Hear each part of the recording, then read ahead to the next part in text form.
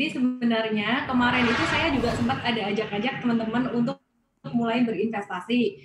Tepatnya ketika beberapa saham perbankan itu berada di level bottom sekitar pekan ketiga dari bulan Maret tahun 2020 dan kemudian juga kemarin di bulan Mei saham perbankan juga ada kesempatan kedua ketika jatuh di bottom level terendahnya tahun ini dan kemudian uh, pada waktu itu memang psikologinya orang-orang pesimis, takut ya.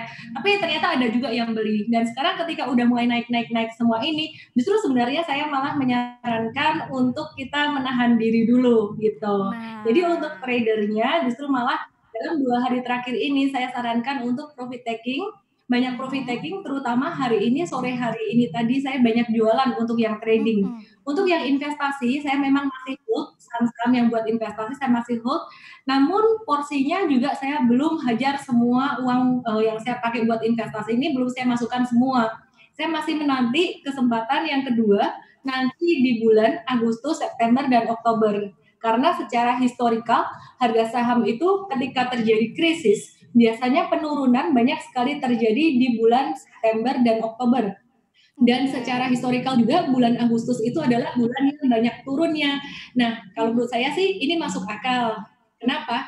Karena laporan keuangan pada semester 1 atau kuartal kedua nanti baru akan keluar bulan Juli atau Agustus, di mana bulan April, Mei, dan Juni, Maret, April, Mei, Juni ini perusahaan-perusahaan banyak yang laporan keuangannya pasti akan tertekan karena COVID-19. Jadi kita akan ada kesempatan kedua sekitar bulan-bulan itu.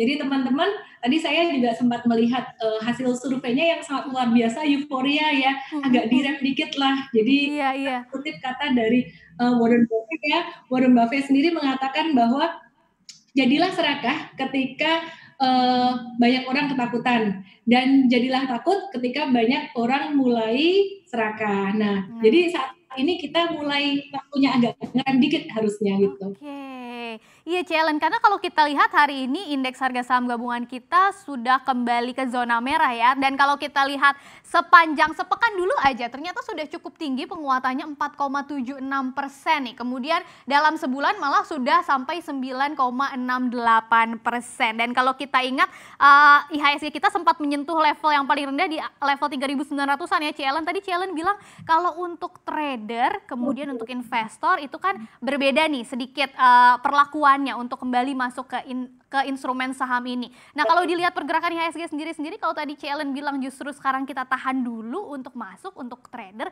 memangnya IHSG ini bisa sampai ke berapa lagi nih Celen pelemahannya? Karena udah 3.900 sudah tembus, apakah bisa lebih rendah dari itu lagi? Ya, kalau sekarang saya bicara tentang kenaikannya dulu aja ya, karena banyak orang bertanya-tanya, ini naik sampai kapan? Jadi di level atas ini, di atas kita saat ini, ini ada dua resisten yang sangat kuat sekali.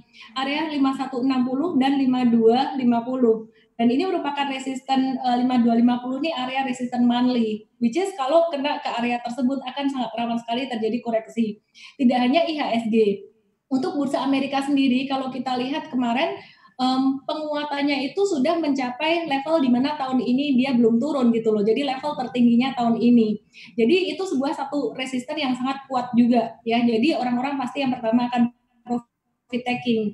Nah, dasarnya yang kedua adalah kalau saya melihat penguatannya ini tidak signifikan naiknya, maksudnya uh, tidak akan bertahan lama naiknya adalah karena secara fundamental perekonomian sendiri saat ini sebetulnya lagi dalam kondisi yang struggle banget di mana pemerintah sendiri juga mengatakan uh, dalam memberi stimulus di dalam memberikan bantuan banyak untuk masyarakat ini ini penerimaan negara juga uh, kurang dan ada kemungkinan terjadi pelebaran uh, defisit anggaran gitu ya. Jadi ada kemungkinan defisit anggaran semakin melebar sehingga kenaikan juga akan terbatas. Nah kalau